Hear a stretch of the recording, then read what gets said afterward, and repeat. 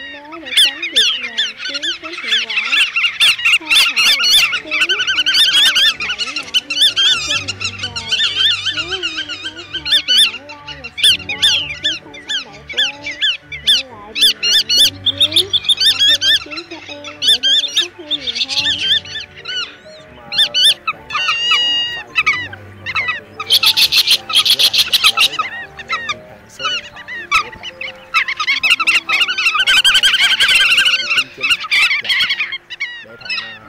Thank you.